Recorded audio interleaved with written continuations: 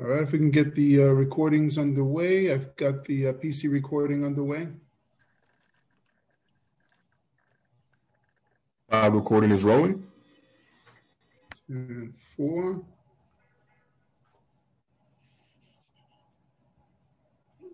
Chief Sergeant, are you going to do the backup? Backup is good. Thank you, sir. Good morning and welcome to today's remote New York City Council hearing of the Committee on Resiliency and Waterfronts. At this time, would all panelists please turn on their video? To minimize disruption, please silence your electronic devices. And if you wish to submit testimony, please do so at testimony at council.nyc.gov. Once again, that's testimony at council.nyc.gov. Thank you for your cooperation. We are ready to begin. Thank you, Sergeant. Uh, good morning, everyone. I'm Councilman Justin Brannan. Thank you for joining our virtual hearing today of the Committee on Resiliency and Waterfronts. I first want to acknowledge my colleagues who have joined me so far, Councilwoman Debbie Rose, uh, Councilman Ruben Diaz Sr., and I think that's all we've got for now, but we're expecting Councilman Constantinides and others. Um, I now want to turn it over to our committee counsel, Jessica Steinberg Albin, just to go over some uh, procedural items. Thank you, Chair Brannan. I am Jessica Steinberg Albin, counsel to the Resiliency and Waterfronts Committee of the New York City Council. Before we begin, I want to remind everyone that you will be on mute until you are called on to testify when you will be unmuted by the host. I will be calling on panelists to testify. Please listen for your name to be called. I will be periodically announcing who the next panelists will be. The first panelist to give testimony will be Jainey Bavishi, Director of the Mayor's Office of Resiliency. I will call you when it is your turn to speak. For the question and answer period only, we will also be joined by the Mayor's Office of Resiliency and Mayor's Office of Sustainability, Deputy Director for Infrastructure and Energy, Susanne DesRoches, and the New York City Department of Buildings, Assistant Commissioner for Technical Affairs and Code Development, Joseph Ackroyd. During the hearing, if council members would like to ask a question of the administration or a specific panelist, please use the Zoom raise hand function and I will call on you. First, going by the sponsors of the bills we are hearing today, and then in the order you have used the Zoom raise hand function. We will be li limiting council member questions to five minutes, which includes the time it takes to answer your questions. Thank you. I will now pass it to Chair Brannan to give an opening statement. Thank you, Council. Um, I also want to acknowledge we've been joined by my colleague, Councilman Costa Constantinides. Um, good morning, everybody. My name is Justin Brannan. I have the privilege of chairing the Committee on Resiliency and Waterfronts. I'd like to welcome you all to today's virtual hearing. Uh, we're going to hear two bills today and two resolutions, which we're excited about. Uh, New York City faces significant threats from extreme weather events and high tides, and the city will continue to experience greater and more frequent damage because of climate related weather events and sea level rise. Neighborhoods along the shores of Jamaica Bay, Flushing Bay, and the eastern shore of Staten Island regularly experience tidal inundation now, and this trend will only be exacerbated by continued sea level rise. New York State ranks third in the nation for the most homes at risk of coastal inundation by the end of this century. The city, with 520 miles of coastline, is particularly vulnerable to the impacts of sea level rise, storm surge, and high tide, or what they call sunny day flooding. According to scientists for the National Center for Atmospheric Research, the city will likely experience an increase in sea level rise twice the global average. Floods are the most common and most damaging natural disasters in the country.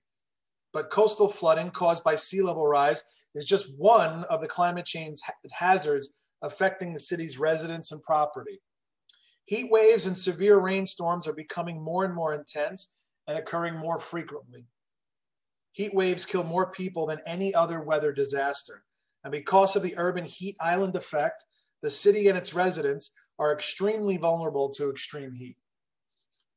The Mayor's Office of Resiliency has stated that resilient design must become an integral part of the project planning process for city agencies and designers, and that all new projects and substantial improvements should assess risks to climate hazards in their design and siting. The Climate Resiliency Design Guidelines by the Mayor's Office of Resiliency is a guidance document that encourages city agencies to include forward-thinking climate change data in the design of city capital projects to make them more resilient to all climate hazards. However, city agencies do not have to use these guidelines. They are advisory and not required. Today we'll hear intro 29, sorry, intro 2092 by Councilmember Constantinides. This bill would require that the design principles and the climate resiliency design guidelines be applied to all city capital projects and that the city develop a climate resiliency score metric for capital projects. Once developed, all city capital projects would have to meet the required score for that project. We look forward to working with the administration on this important common sense bill. Floods are the most common and most damaging natural disasters in the country. And New York City has more residents living in high risk flood zones than in any other city in the United States. As climate change worsens and sea levels rise, the city's floodplain will continue to expand landward. This will lead to more flooding events and more property owners will see their properties inundated with floodwaters. Today, we'll also hear Intro 2198 by Councilmember Matteo. This bill would require that structures located within the floodplain be elevated to an, to an additional one to two feet above what is currently required by the current city building code to make sure that these structures, which are highly susceptible to floodwaters, have additional flood proofing. By adding freeboard, which is the additional safety factor above the flood line, above which finished floors and critical systems of a building are placed, such properties would be protected from flood events. And property owners would be able to lower their annual flood insurance premiums.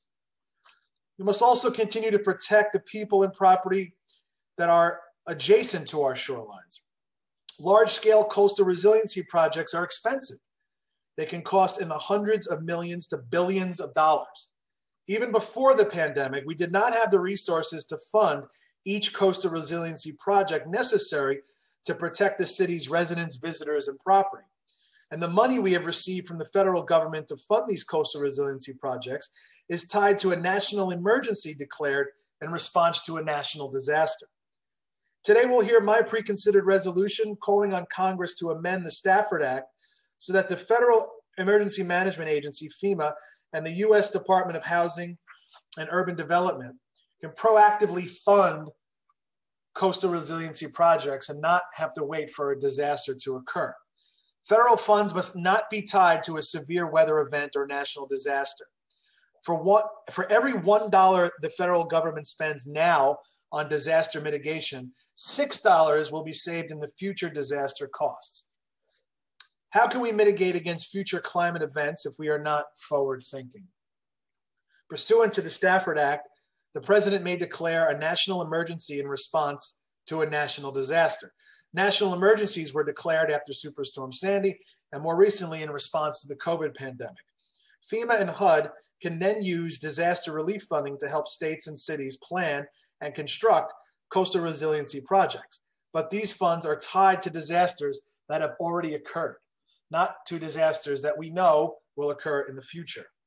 The STORM Act, which was signed into law on January 1st, amends the Stafford Act to allow FEMA to, to fund a revolving loan fund that local governments can use for mitigation, for, for proactive mitigation projects.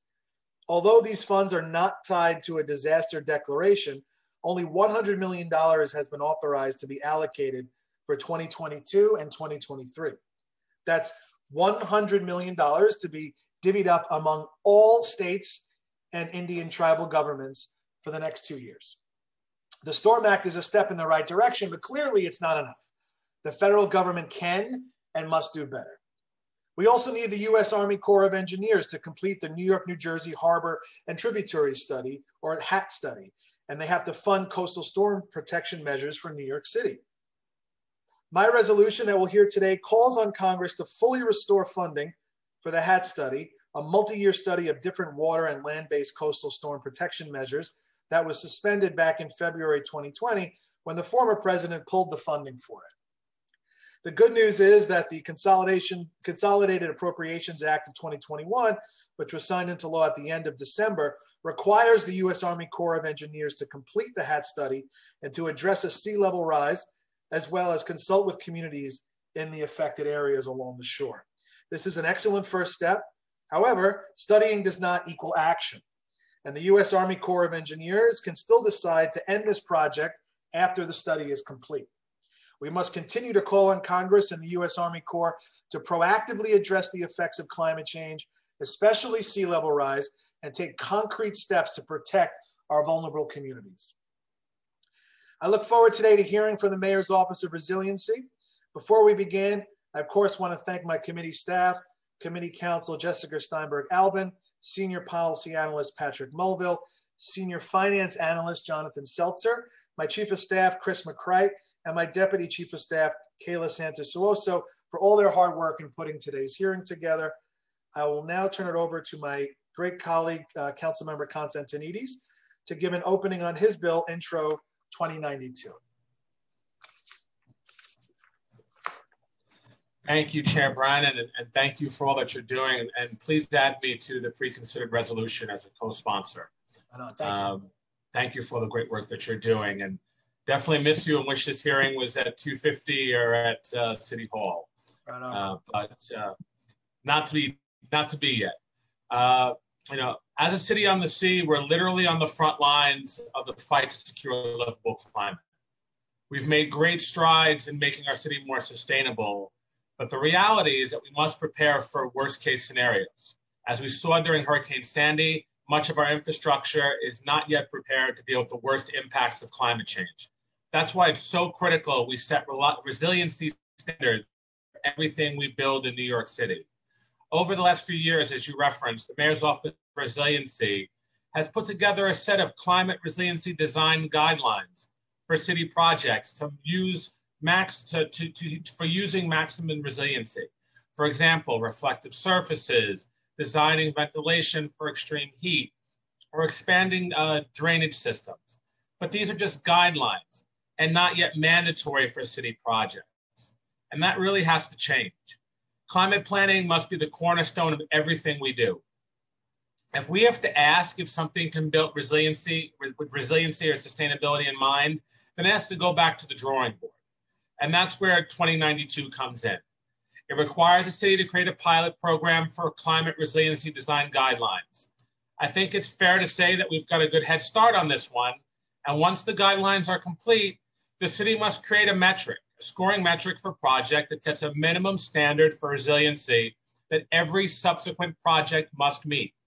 And their report on the creation of Waterfront Edge Design Guidelines, or WEDGE, uh, the Waterfront Alliance notes that we have spent more than 47 billion in claims through the National Flood Insurance Program since 1978. 40% just coming in the last 10 years and we lose an average of nearly 80 acres of coastal wetlands a year due to a development and sea level rise. Criteria like wedge or the city's design guidelines cannot be set in an option box to check anymore, but must literally and figuratively be the foundation of everything we build on from here on out.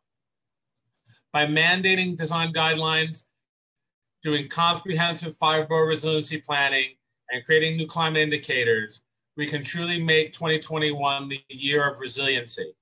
Again, I want to thank my brother, Chair uh, Justin Brannan, for his steadfast partnership on these issues, Jenny Bavishi and her whole team at MOR for getting the ball rolling on the creation of these guidelines and their great work, and everyone at the Rise to Resilience Coalition uh, for their advocacy. Thank you very much.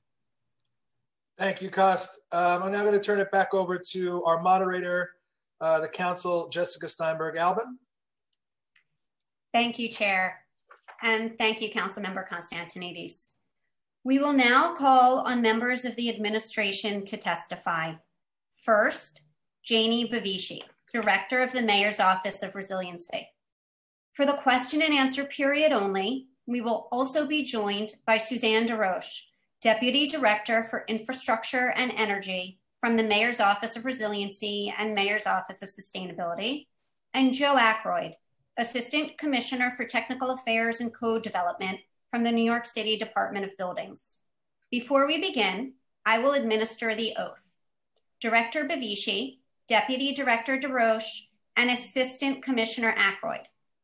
I will call on each of you individually for a response. Please raise your right hands.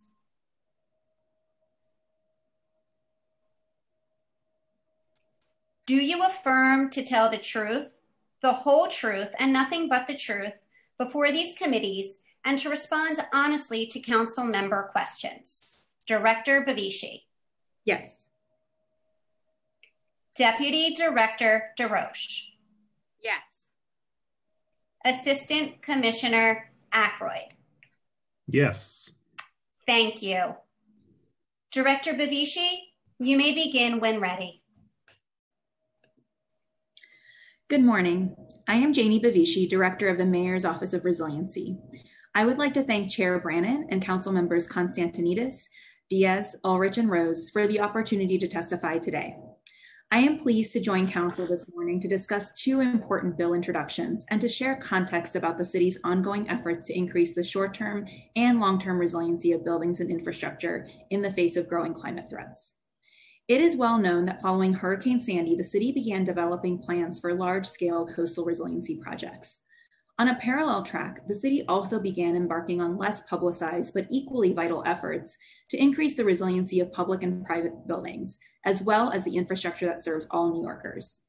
These efforts began with reforms to strengthen Appendix G of the New York City Building Code in 2014. Driven by a shared desire to make new construction safer and more resilient, the mayor's office worked with council to develop and pass a package of new standards. These standards, which remain in place today, are among the most stringent building codes anywhere in the country.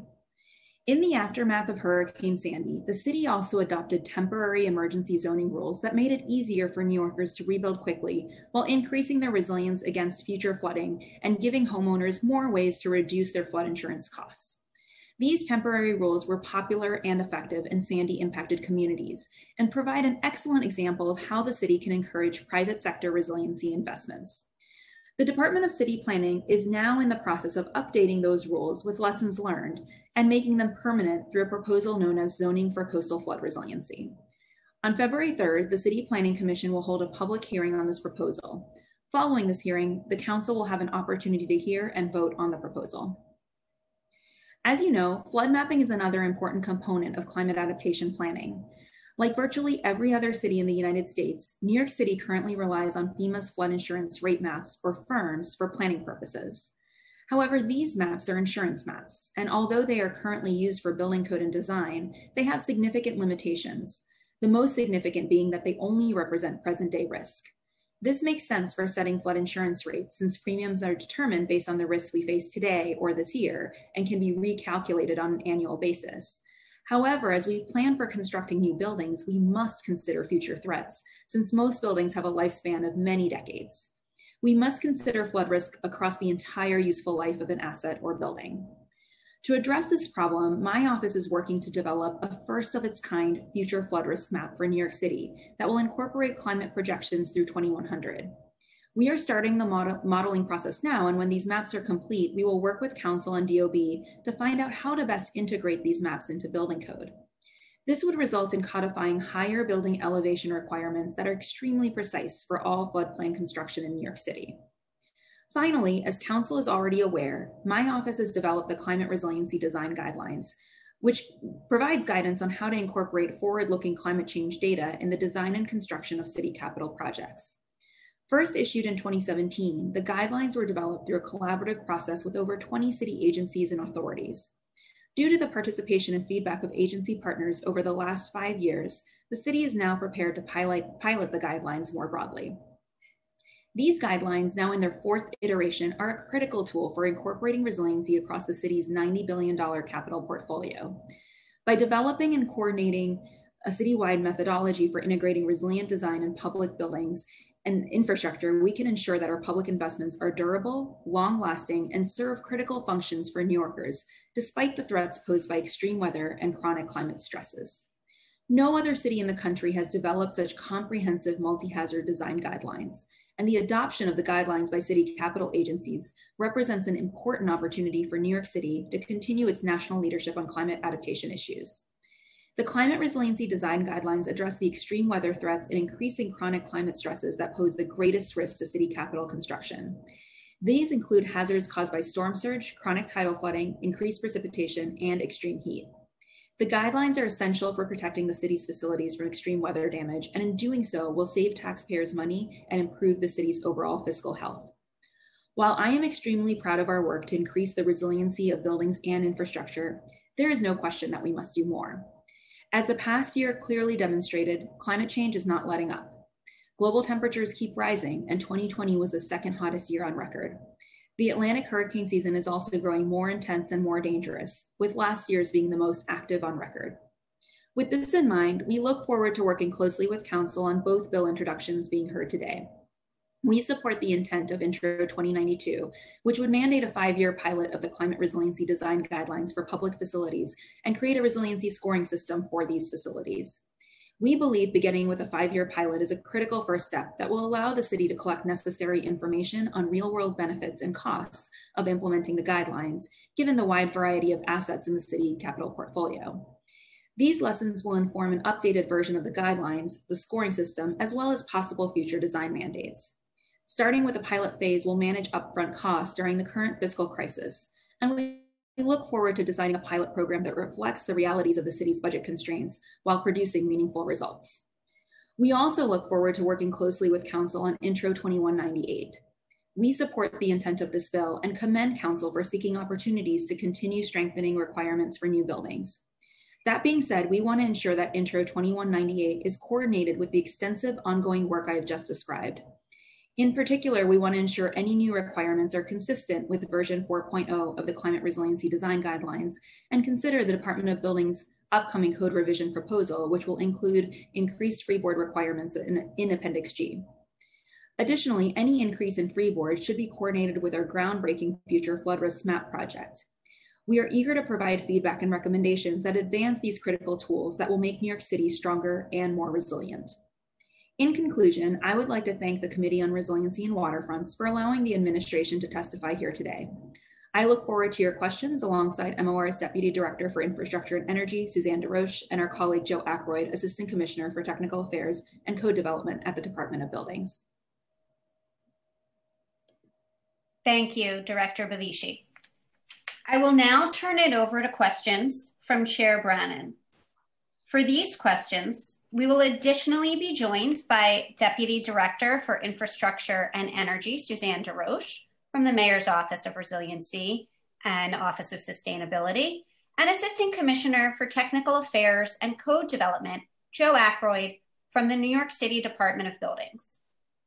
Panelists, please stay unmuted if possible during this question and answer period. As a reminder, if council members other than Chair Brannan would like to ask a question of the administration or a specific panelist, please use the Zoom raise hand function and I will call on you. First, going by the sponsors of the bills we are hearing today, and then in the order you have used the Zoom raise hand function.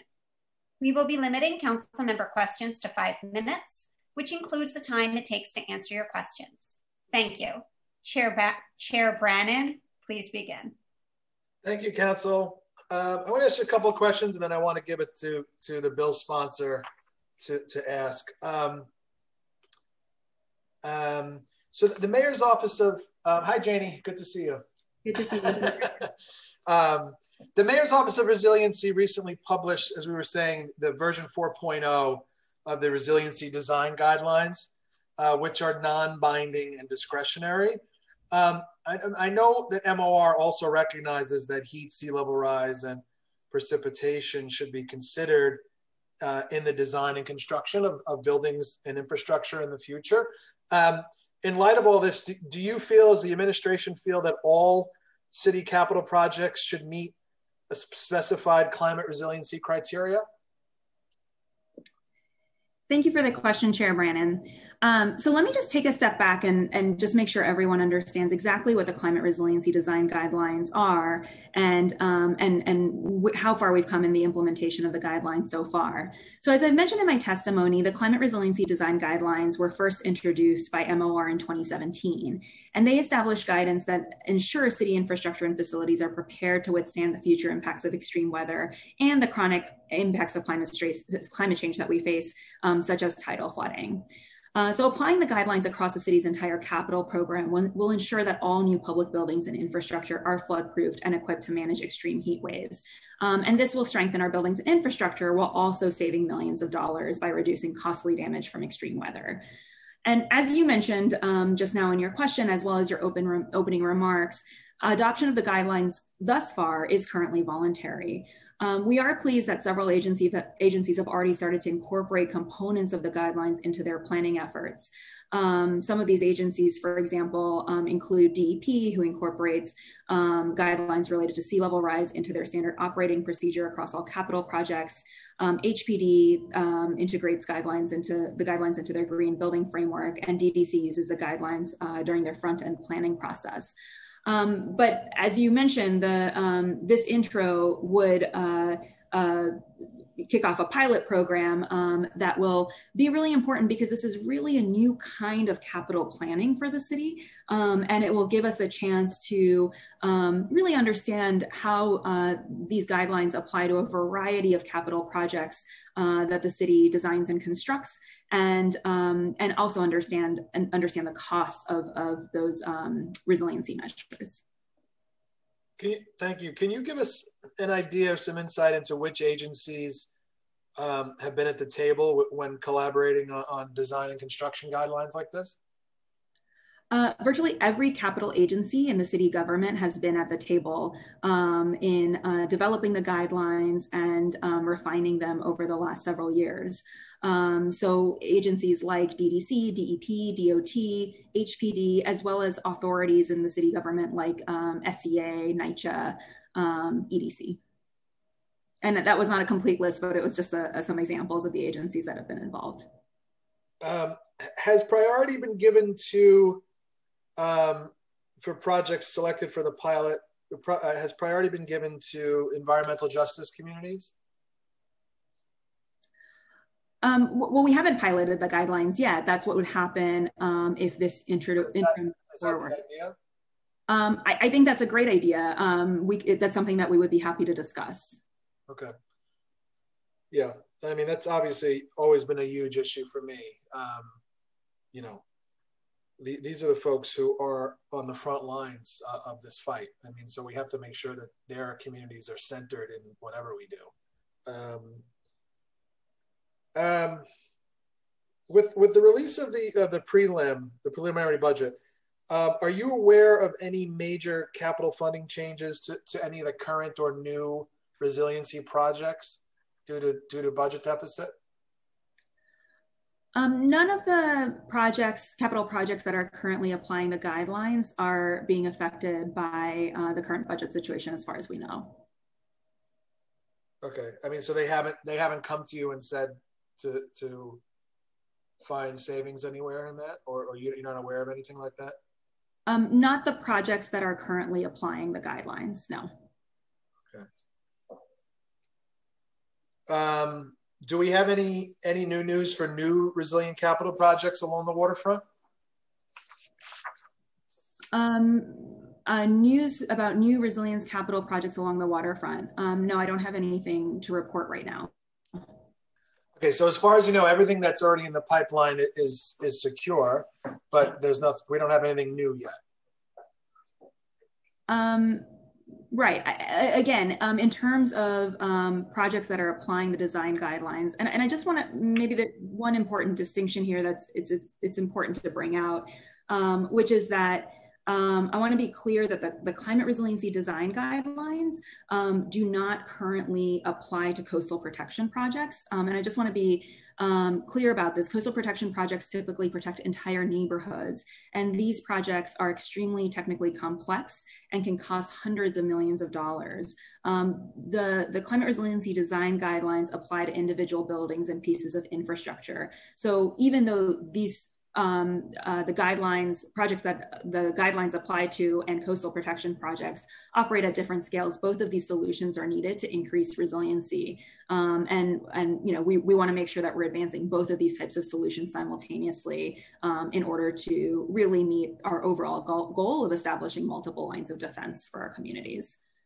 So what's the, what's the, and then I wanna turn it over to, to Costa. What's the plan to engage the public uh, regarding the types of climate resilient capital projects in their communities. I'm sorry, could you repeat the question?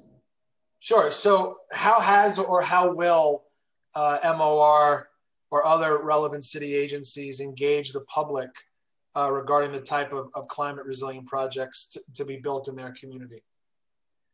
Um, around the climate resiliency design guidelines? Um, we'd be happy to talk to you about this. I, I think um, you know we're um, we're we're committed to communicating um, you know how how we're applying resiliency principles across a um, variety of projects and programs um, across the city, and uh, we would certainly appreciate your input on how best to communicate that uh, to communities. Okay, I mean, I just want to make sure that that we're engaging with you know the the EJ communities and not just sort of cooking this up in a boardroom somewhere um, and then and then rolling it out, and then the and then the EJ communities have to then say no, we don't like it. Um, I'd rather avoid that and, have them at the table, to, you know, from from the get go. Absolutely, and I, and I believe the legislation actually requires engagement with with the public and um, uh, members of the public and experts, which we're of course committed to doing. Um, and it also requires that 30% um, of the pilots uh, are um, uh, implemented in, in environmental justice communities. Okay, Costa? Yeah, I'm here, brother. You got questions? Yes, sir. go, go for it. All right. Uh, so, Jainey, uh, first, always great to see you, and, and it's it's good to see you on Zoom and not on text. Um, but thank you for all the great work that you're doing. Um, so, just to be clear, uh, when we spend money on resiliency, uh, it's actually cheaper to kind of bake it into the cake, right? When we're doing these capital projects than it is to go back and retrofit later on, correct? Absolutely. Um, you know, our goal here is to build a culture of resiliency. We need to be considering resiliency ultimately in every city action and investment. And the climate resiliency guidelines are a really important tool to ensure that we're accounting for future climate threats in all of our capital investments. Um, it's certainly cheaper to uh, consider those uh, climate risks upfront um, in the design and in uh, construction of capital projects than to go back and retrofit later. So these guidelines, making them mandatory would actually save the city money in the long run, right? So we're not talking about imposing, this bill doesn't impose uh, undue costs on the city. It's actually going to be something that's going to save the city money over the next 10 or 15 years because they're not going to have to go back and uh, make them resilient later on, right? So this isn't a, a bill that's going to add costs. You know, it may add a little bit of cost, possibly in the upfront, but it's actually going to save us money in the long run, which is what we should be thinking about having a limited budget, correct? That's absolutely right. And I think that during the pilot period, we will be able to better quantify some of those costs because we'll be able to apply the guidelines to a, a diversity of capital projects. Um, so it'll help us to really put some numbers to, to, to, to that concept. Now, just to go off topic for a second, just how is MOR funded? Like, how would you know have additional funding? How long are you going to be able to kind of keep running on what you're doing? Uh, but will how long will you be able to continue to do this work as part of the as this really important work that we need to get done for the city? Um, MOR is currently funded um, with uh, post Grandy, post Sandy CDBG DR uh, federal grant dollars. So if that when those money if those monies were to run out, then we'd have to find funding for MOR elsewhere through the city budget. Is that is that what you're saying? Uh, that's right. Okay, that that is concerning. That's very concerning. Um, yeah, um, we we need to do that. Uh, just quickly go back to the bill because I know I'm on a clock. Um, I just what sort of what sort of climate experts did you consult? What were their recommendations around these guidelines? I think there's a there's broad support for the guidelines. Um, you know, I I, it, I think um, uh, someone said it in their opening remarks, but this is quite common sense. And so, um, you know, we have been. Uh, we, we, we've, we've uh, I think, uh, received broad support from, from climate experts as well as the advocacy community about the idea of incorporating future climate risks and considering those future climate risks uh, in a science-based way across, um, across our capital portfolio. So it just makes sense to do this. You know, it's just it's just common sense that you know, there's no one who's saying this is something we shouldn't be doing, and it shouldn't be left up to individual agencies to pick and choose. Right? In in, in a, the 21st century, we shouldn't be leaving it up to whether someone decides to pull the guidelines out of out of a book or not. It should be mandatory. Is really the way we should be going. Right? Right, and, and the guidelines do offer some flexibility, right? Not every um, mm-hmm. city infrastructure or buildings uh, project will um, encounter the same um, climate threats um, or impacts. And, um, you know, it, it depends on uh, the location that they're in and, and um, what exactly, what the type of uh, infrastructure project actually is. and so the guidelines account for that and offer that flexibility. Um, you know, and I, am going to just turn it over to my colleague Susanne um, to also speak about what we've been hearing from experts. Thanks, Jainey. Um, I wanted to just add a little bit of flavor into the experts. So, as Jainey mentioned in her testimony, we have been developing these guidelines for um, a number of years.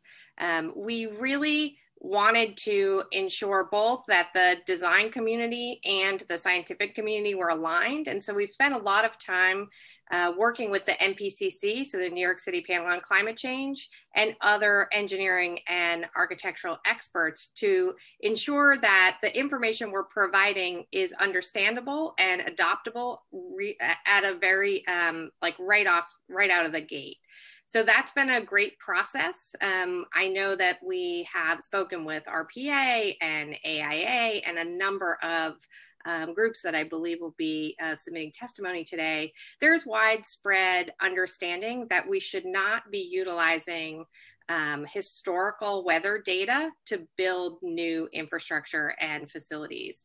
And so adopting this forward looking climate data is really critical.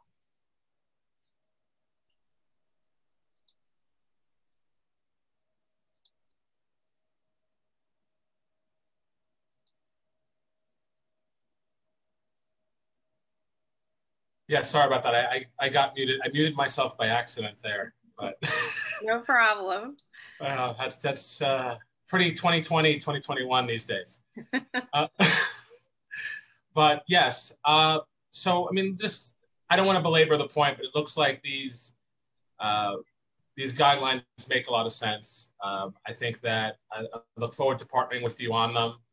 Uh, I'm going to pass it at this point back to uh, Chair Brannan, but I am very concerned about this MOR funding stream issue. And I think, you know, as we look at the city budget, we're definitely gonna have to make sure that MOR is kept.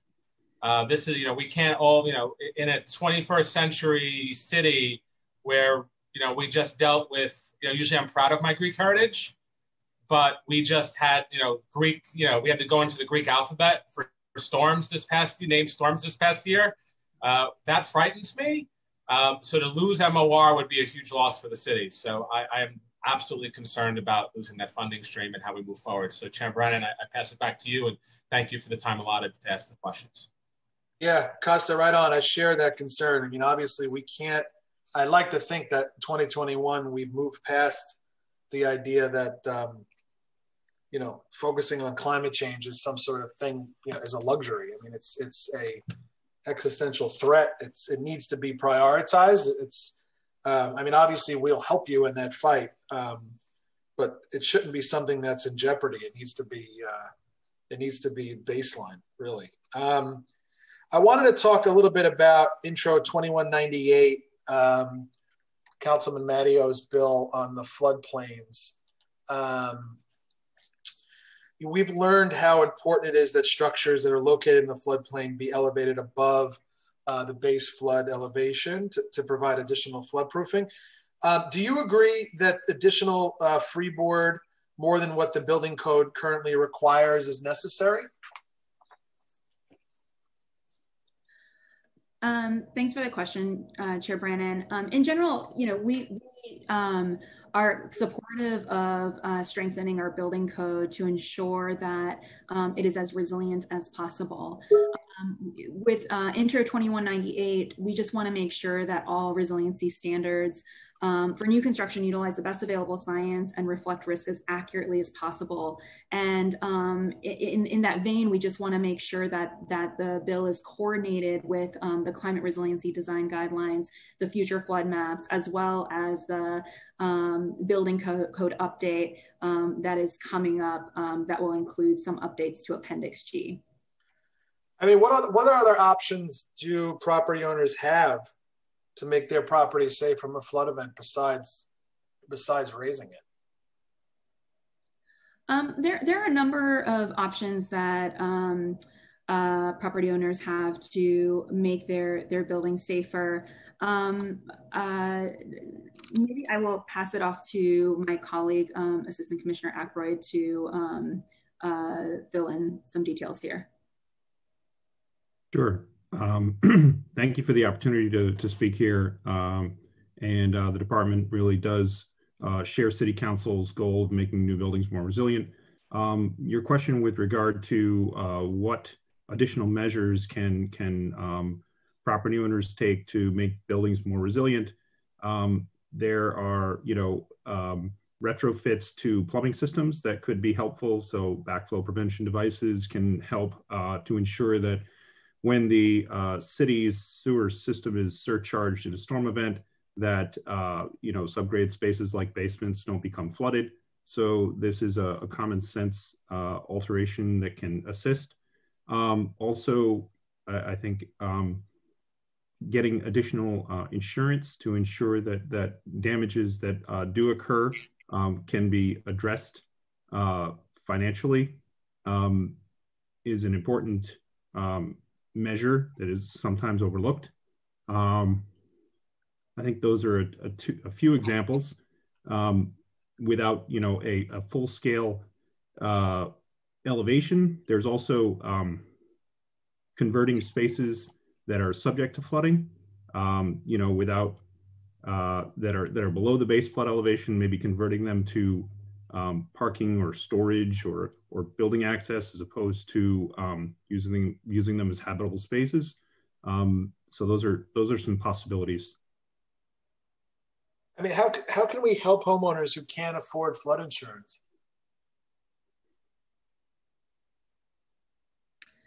Um, you, you, know, we have been um, working to um, advocate for reforms to the flood insurance program um, at the federal level so that they are um, really focused on a homeowner's ability to pay. One of the um, one of the the reforms that we have been advocating for for several years, and, and New York City is really a leader in this advocacy, um, is the use of means tested vouchers. means tested vouchers would um, set rates based on people's ability to pay um, uh, rather than just based on, on the maps themselves. Um, we think affordability must be a centerpiece of the, the flood insurance program, and, and that's why we've been um, uh, really leading uh, some of this advocacy at the federal level to, to um, make those changes to the flood insurance program. I mean, should we continue to build homes and businesses in areas that, that regularly flood now? You know, I, I think that um, uh, there are sort of two ways to think about it. Um, where you build matters, but also how you build matters. And so, um, you know, I think the how you build uh, question is really the, the focus of this hearing um, because we're talking about uh, design guidelines and, um, and this idea of um, implementing additional freeboard. So, you know, more stringent design standards, either through code or through a mandate of the guidelines will certainly help um, in a big way to ensure that the facilities that we are building in risky areas are um, as safe as possible. What about building in areas that, that we project will flood regularly 10, 20, 50 years from now? What should we do? Um, we have um, uh, you know, I, th- I think I'll, I'll, answer this in two ways. Um, one is that um, in terms of uh, private construction in areas that are already um, uh, experiencing regular tidal flooding, we have created a special zoning designation called special coastal risk districts, which limits density in those areas. Um, so we're acknowledging that um, you know th- these these areas are particularly risky, um, and uh, rather than densifying any further, we want to make sure that we're limiting density um, as a as a resiliency measure. Um, in the guidelines themselves, we've also created, um, we've also stipulated that um, those uh, uh, facilities or infrastructure that be, are being built in um, uh, uh, the highest percentile, um, uh, you know, the, the, the most risky areas um, are, uh, they, they should consider new locations um, be, because of their risk to regular tidal flooding. And I'm gonna pass it off to my colleague Susanne to add a bit more detail on that. Thanks, Jainey. Yeah, as Jainey mentioned, the guidelines uh, provide a detailed um, instructions on to how to do site analysis um, if you are going to be in the tidal floodplain, so the daily flood, you know, the daily floodplain um, over the useful life of the asset. A critical part of these guidelines is asking the design teams to look at how the climate changes over the whole time that that asset will be utilized. So as you said, you know, when we look at the at the floodplain mid-century, uh, there will be places that have uh, tidal flooding. Um, some of those places, you know, we know uh, have issues of sunny day flooding today, and the guidelines stipulate that you need to look for alternative sites. Um, this is a great step and a, and a very good and responsible use of city capital dollars to ensure that we're not building in places that we know are going to be so risky in the future. How many how many of the special flood hazard districts actually exist? Um, uh, I, I uh, don't have the number off the top of my head. I, I think it's about five. Um, I can get back to you with that number. Are they are they in the, the neighborhoods that I would expect? Um, they're in places like um, Broad Channel, Howard Beach, um, Oakwood Beach, um, some of the lowest lying areas in the city and how what's the determination there like why aren't there more why why are there only that many how do we get more do we need more We'd be happy to follow up with you. DCP actually leads the process of designating these special coastal risk districts, and um, we'd be happy to, to follow up with you so that DCP can, can okay, provide yeah. some of that background. Yeah, that's important. Um, okay. Uh, Council, I think I'm good. I don't know if I have, are there any other members that have questions? Uh, thank you, Chair. I don't see any, but if there are any council members who would like to ask a question of the administration and have not done so, if you could use your Zoom raise hand function now.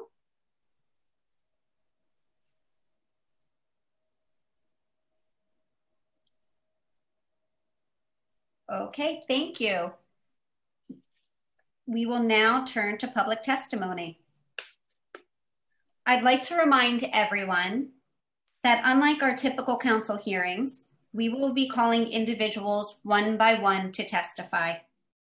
Each panelist will be given three minutes to speak.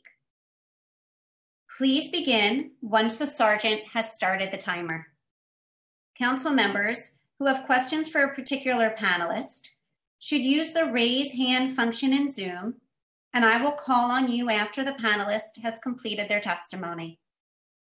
For panelists, once your name is called, a member of our staff will unmute you and the Sergeant at Arms will give you the go ahead to begin upon setting the timer. Please wait for the Sergeant to announce that you may begin before delivering your testimony. I would now like to welcome our first panelist, Karen Imas of the Waterfront Alliance, to testify. After Karen Imas, I will be calling on Jalissa Gilmore of the New York City Environmental Justice Alliance, and then Nicole Hernandez Hammer of Uprose. Karen Imas, you may begin once the sergeant has started the clock. Starting time. Thank you so much. Uh, thank you, Chair Brannan and council members. I'm pleased to be here today on behalf of Waterfront Alliance. My name is Karen Imas. I'm the Vice President of Programs. Uh, today's hearing touches on several important aspects of securing New York City's future in the face of climate change. First, we support the resolution calling on reinstatement of funding for finalization of the New York, New Jersey Harbor and Tributary Study, known as HATS. Waterfront Alliance, through the Rise to Resilience Coalition, successfully secured reforms to this study and potential funding for resilience projects through the Water Resources Development Act recently passed. The funding for HATS, however, remains uncertain, as your resolution points out, and Waterfront Alliance and the Rise to Resilience Coalition join you in calling on our congressional representatives, as well as the Biden administration, to ensure that the study is included in the Army Corps' work and plan for this year. The completion of this study will bring jobs, coastal risk reduction, and nature's benefits to the metropolitan region at a time when a resilient recovery is needed more than ever. With respect to Intro 2092, we enthusiastically support the efforts to codify the city's climate resiliency design guidelines, as well as Intro 2198 to require that structures located in the floodplain be elevated an additional one to two feet. The city's guidelines are an effort to incorporate forward-looking climate change data in the design of all city capital projects, and we commend the Mayor's Office of Resiliency for the guidelines that were updated as recently as 2020. Piloting and codifying the city's climate design guidelines will make communities safer and save taxpayer dollars on a return of six to one. Simply put, building resilient means building better. Resiliency scoring is an important part of the bill, and we are pleased to see efforts that create accountability, and we would support a letter grades approach, much like the green buildings legislation. The Waterfront Edge Design Guidelines developed at Waterfront Alliance could work in tandem with the city's design guidelines as a way to score and verify projects that show not only resilience, but also access, ecology, and innovation at the water's edge. Ultimately, we support mandating climate design guidelines for all development and redevelopment projects, public and private, in both the current and future 100-year floodplains. Such a mandate should entail regulatory, legislative, and incentive-based pathways for meeting resiliency standards. The codifying of guidelines for city projects is but one piece of a broader climate resilience legislative strategy needed. And to that end, we support a Rise to Resilience Act bill package that will include this bill, as well as legislation to create a suite of climate indicators, as well as a five borough coastal resilience plan. Finally, there's a tremendous opportunity for real institutional change through a much needed comprehensive climate planning and decision-making framework across all city agencies which impacts how the city designs, maintains, monitors, and replaces assets and infrastructures. And we hope that this is a subsequent step in the city's climate resilience strategy. Thank you for your time today. Thank you. I will now call on Jalissa Gilmore of the New York City Environmental Justice Alliance, who will be followed by Nicole Hernandez Hammer of Uprose, and then Paul Gallay of Riverkeeper. Jalissa Gilmore, you may begin when the sergeant announces time. Starting time. Good morning. Thank you, Chair Brannan and members of the City Council for the opportunity to testify. My name is Jalissa Gilmore, and I'm the research analyst at the New York City Environmental Justice Alliance. Founded in 1991, NEJA is a nonprofit citywide membership network linking grassroots organizations from low income neighborhoods and communities of color in their fight for environmental justice. Massive investments are needed to ensure New York City communities are resilient to the impacts of future coastal storm risks, but these investments must be made intentionally, centering equity and justice. The United States Army of Corps Corps of Engineers NYNJ HATS is an opportunity to protect New Yorkers against the risk posed by future storms. NEJA supports the resolution calling upon the United States Congress to restore funding to NYNJ HATS. However, as the project is revived, there needs to be a commitment to addressing concerns raised by the community prior to the suspension of the project. The majority of the options that the Army Corps presented heavily relied on large sea walls and gates to protect the shoreline. Instead, options that implement nature-based infrastructure and smaller scale flood protections, which can offer a number of environmental co-benefits, should be considered. In this new phase, Army Corps should incorporate recommendations and community input from projects that have already been put forth by frontline communities yet not always considered or incorporated into final plans, such as the Hunts Point Resiliency and East Side Coastal Resiliency. Lastly, the environmental justice maps that the Army Corps is using does not accurately represent environmental justice neighborhoods. As the project moves forward, it should instead consider using the disadvantaged community screening tool currently being developed pursuant to the New York State Climate Leadership and Community Protection Act. Again, building New York City neighborhoods to be resilient is critical to critical and NEJA supports Intro 2092, which would develop climate resiliency guidelines and a climate resiliency score metric. We recognize the Council's commitment to environmental justice with the requirement that 30% of the pilot projects be located in environmental justice communities. However, rather than require 30% of pilot projects in environmental justice areas, we recommend matching the New York State CLCPA's commitment of 35 to 40% for disadvantaged communities. Similarly to the Army Corps study, we are concerned that current maps may lead to an underinvestment in communities that need it most and should consider using the CLCPA's disadvantaged community screenings tool when it is available. And as the re resiliency score is developed, input from members of the public with expertise specifically in environmental justice should be consulted to ensure an equitable process. There has not been nearly enough coastal resiliency investment in the low income communities of color in the outer boroughs where the most vulnerable populations are. These bills and resolutions have the opportunity to re remedy this and protect frontline communities. Thank you for the time to testify. Jalissa, you can keep going if you have more. No, that's good. I'll submit the full testimony. Sure. Thank you. Yeah. All right. Thank you. Thank you.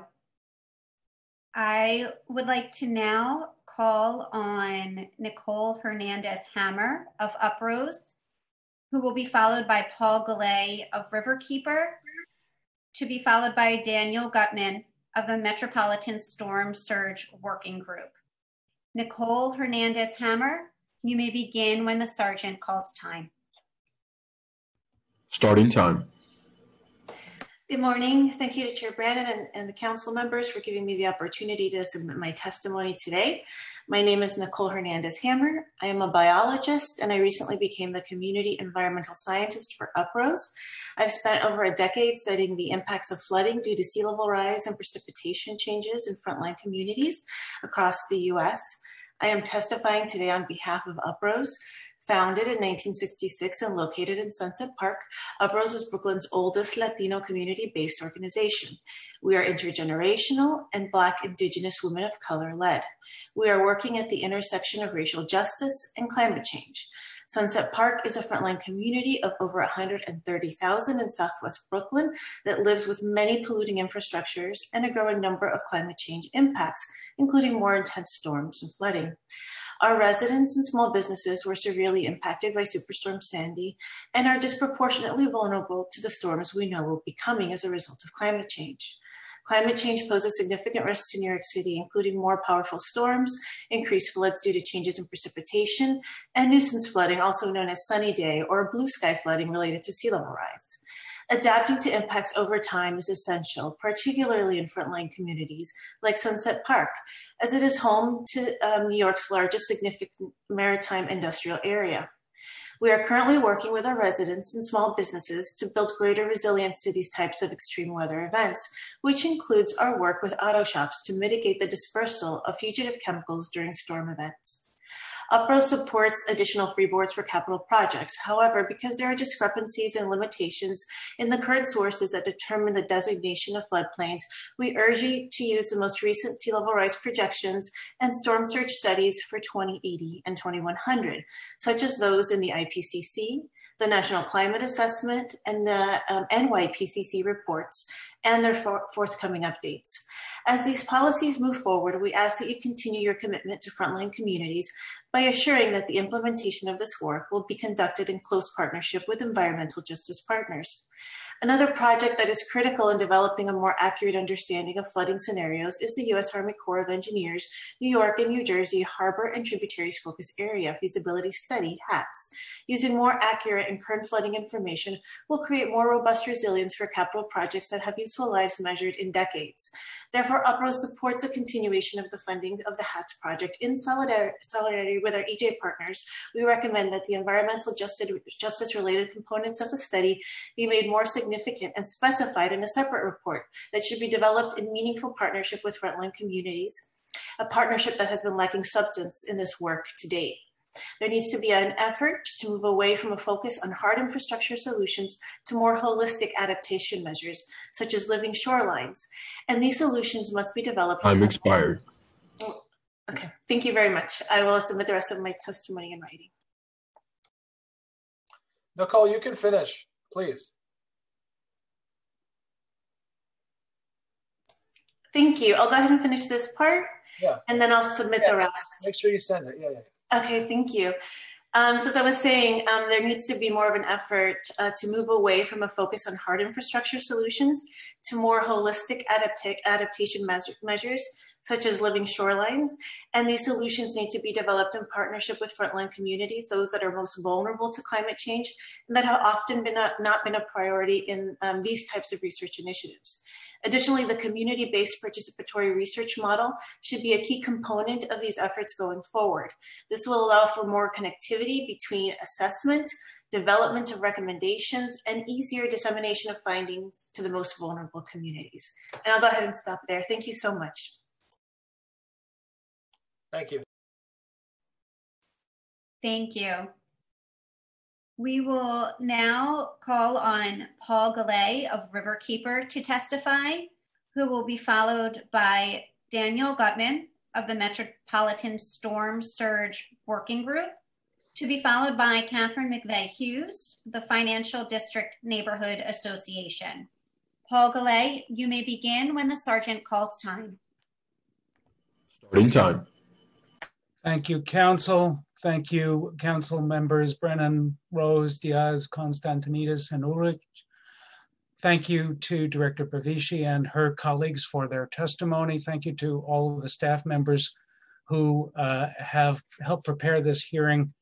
Uh, and of course, uh, thanks to Karen Imas, Nicole Hernandez Hammer, and um, Jalisha Gilmore, um, our partners in Rise to Resilience, UPROSE, and New York City Environmental Justice Alliance. Uh, on behalf of Riverkeeper, I've submitted written testimony and in the hopes that I might keep to three minutes and appreciate uh, the ability to go slightly longer if necessary.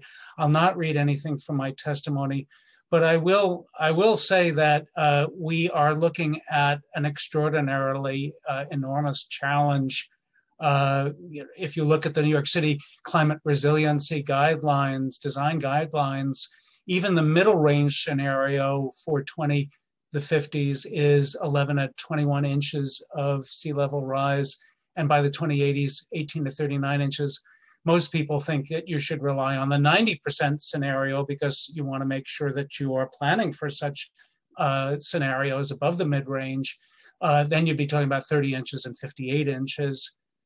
Thank goodness that in addition to this growing challenge we have a new opportunity speaking to first to Resolution 1389, when you look at what has just been done by this new uh, law enacted at the federal level on December 27th, Water Resources Development Act of 2020, it's extraordinary the change that this will help bring about if we work together. If we make the most of this, if of course Congress first funds the study, it had been funded at roughly $20 million before the president put paid to it uh, back in February uh, 2020. And it's my pleasure to say the former president, I should have said. Uh, but fully implementing it is going to require an extraordinarily higher level of partnership between the federal government and the state of New Jersey, the city of New York, and the state of New York. You are involved partners in this study, and I suggest that you press at every level, whether the administration or the council, on the Army Corps to make the most of the study. The Army Corps' um, motto is Essayons, which loosely translates as let us try. I think the Army Corps is welcoming this opportunity to make the most of what this new law allows. And to be specific, uh, the new law requires greater community consultation at every level, particularly with communities of colored tribes and low income communities. It provides Time for, it provides for, may, may I continue for another minute?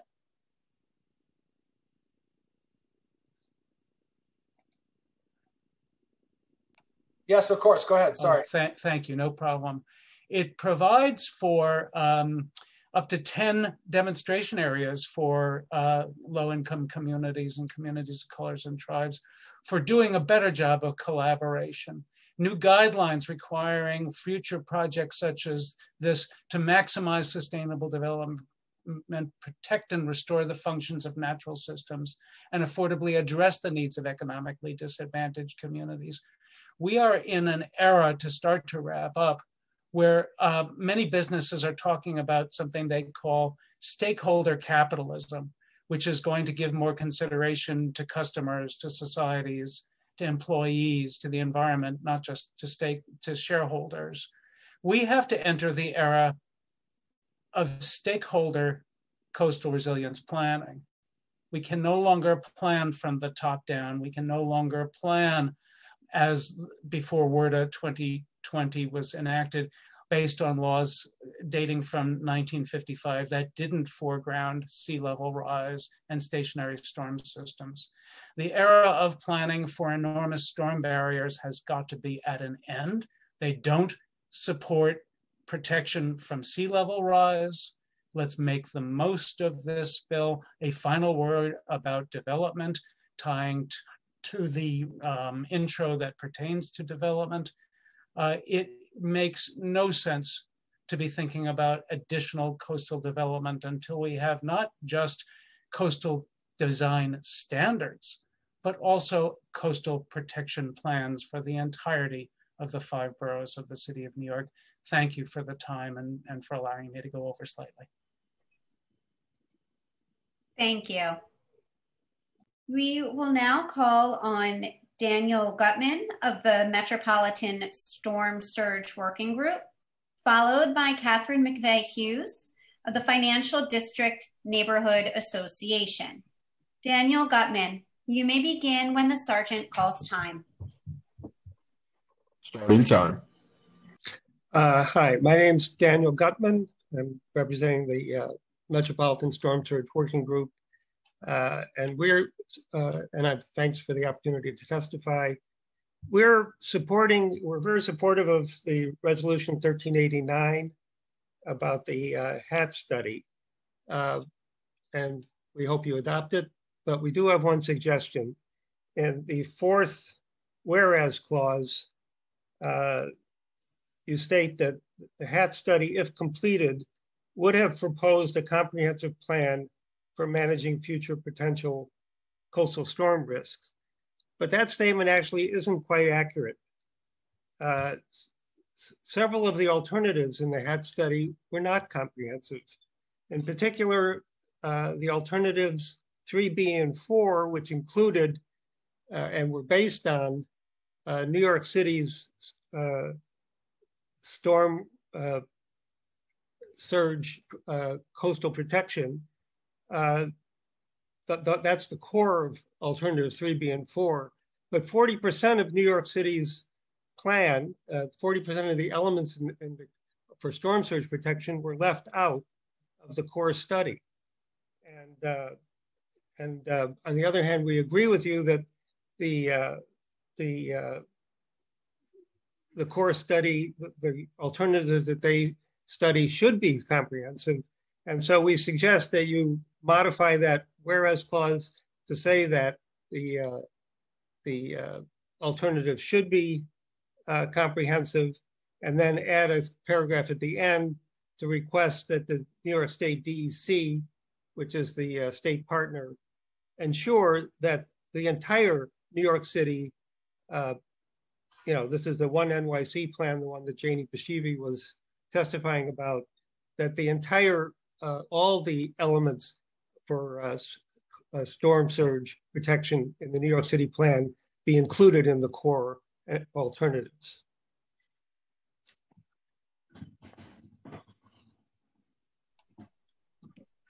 Thank, thank you. you. Oh, sorry, Chair Brannan. No, thank you, Daniel. I, I also want to acknowledge that uh, we've been joined by Councilman Eric Ulrich. Sorry. Thank you, Chair. Thank you, Mr. Gutman. We will now call on Catherine McVeigh Hughes of the Financial District Neighborhood Association to testify. You may begin when the sergeant calls time. Starting time. Let me unmute. Hi. Um, good morning.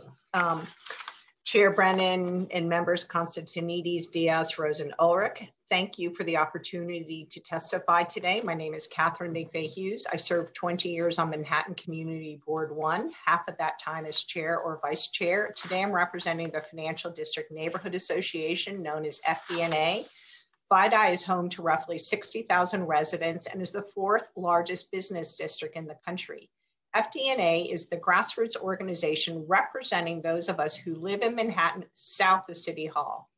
FDA, FDNA supports Resolution 1389-2020 that calls upon the United States Congress to restore funding to the U.S. Army Corps of Engineers New York, New Jersey Harbor and Tributaries USACE HATS Focus Area Feasibility Study and the states of New York and New Jersey to advance their shares of the next phase of funding to revive the study until it is fully restored by the Congress. As you know, the study was suspended by order of then President Trump in January 2020 with his quote, mops and buckets, unquote, tweet.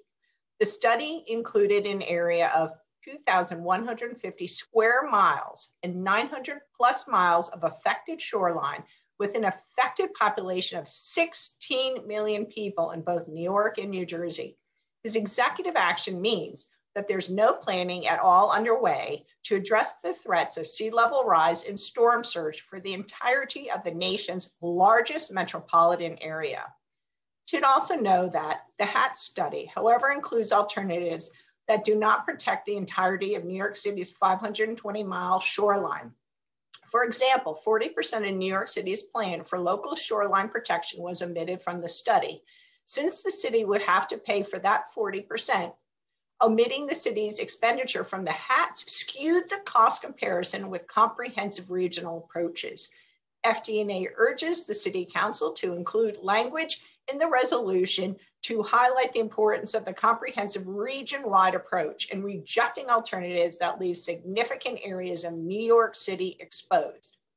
Furthermore, FDNA supports Resolution T 2021-774 calling on Congress to pass the president to sign legislation amending the Stafford Act to proactively fund the planning and construction of FEMA and HUD coastal resiliency projects. The resolution states, quote, Regular tidal flooding is already occurring in New York City neighborhoods such as Broad Channel, Hamilton Beach, and Howard Beach, with a lower Manhattan climate resiliency study conducted by New York City's Economic Development Corporation, the Mayor's Office of Recovery and Resiliency, finding that by 2050, 37% of buildings in lower Manhattan will be time expired with a rise in sea level rise um, caused by a storm, otherwise known as storm surge.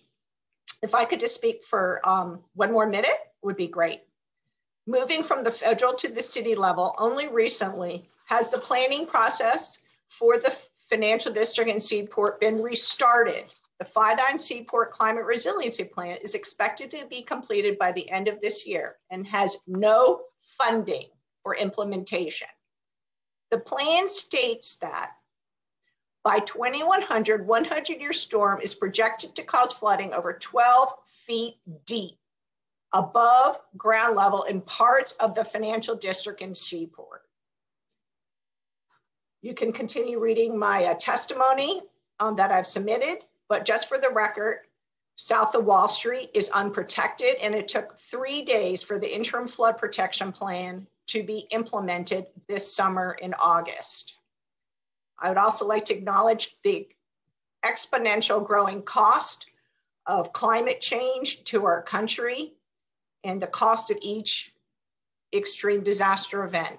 Also attached, I have submitted Surge Watch newsletter 12, 11, and 10 for the record. Thank you very much for the opportunity to testify today. Thank you very much for your testimony. If we have inadvertently missed anyone that has registered to testify today and has yet to have been called, please use the Zoom hand function and you will be called in the order that your hand has been raised.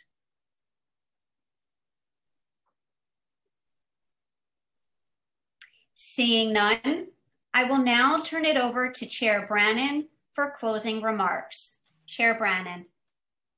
Thank you, Council. Uh, thank you, everyone, for testifying. Um, these these hearings are always important for me because I get to learn from the folks who know this stuff much better than I do. Um, you know, I think if there's one thing, my biggest takeaway from uh, today's hearing is the concern that I understand we're heading into continued or sustained uncharted water, um, pun, pun possibly intended, as far as the budget is concerned.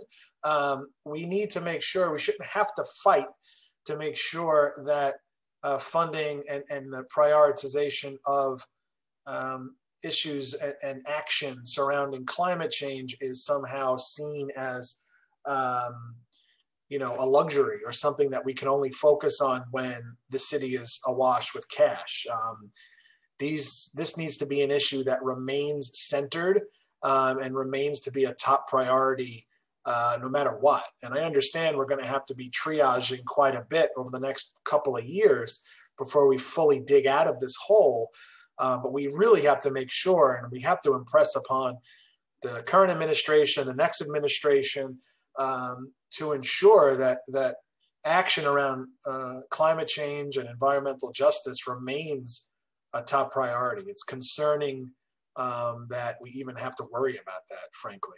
So uh, these bills today are very important, and I look forward to seeing them through to passage. Um, and I thank everyone uh, for your input in today's hearing and, and being with us today. And um, hope everyone has a great week. And with that, I will adjourn this hearing. Thank you.